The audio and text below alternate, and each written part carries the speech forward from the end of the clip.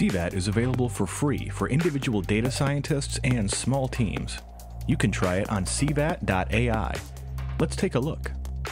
Here's the authorization page. First, you should create an account or sign in with an existing one. To create an account, it's necessary to fill in your name, surname, and choose a username. Afterwards, your username will be used to sign in to the CVAT tool. To complete registration, enter in a working email address and create a strong password. Click the Submit button to finish registration.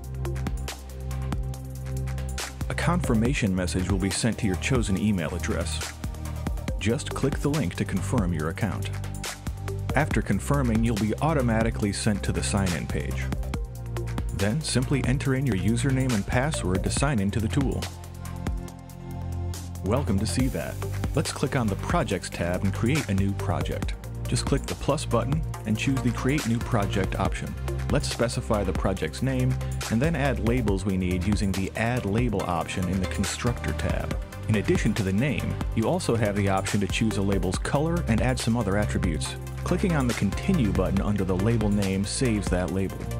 Then you can continue adding new labels or press the Submit button to complete project creation. Back here at the project page, we can now create a new task in the project. Just press the plus button on the bottom right. Here's the new task page. All you have to enter in here is the name field and the video or images you'll be using using the Select Files button. Then, just click Submit.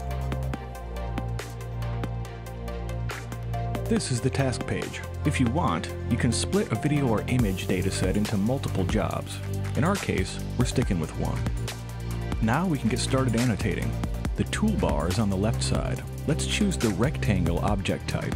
Choose the label you want, and then press Shape. Click and drag the bounding box around the person. Our first annotation is ready. Press the N key to draw a new bounding box with the same label we just used. Then, just drag out the box in the same way you did previously. Now, we'll finish annotating this image by going back to the rectangle in the toolbar and choosing the car object. Then, click and drag to draw a bounding box around the car. Now, let's move on to the next image by pressing the F hotkey or by clicking the Go Next arrow in the top. Let's keep labeling. Now let's save our work. Click the Save icon in the top left or use the hotkey Control plus S.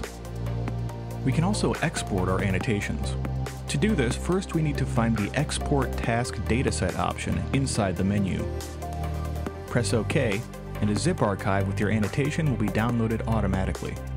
Opening up the zip archive, we can see what our annotation looks like. We hope you've enjoyed this brief tour of how to use CVAT. Happy annotating!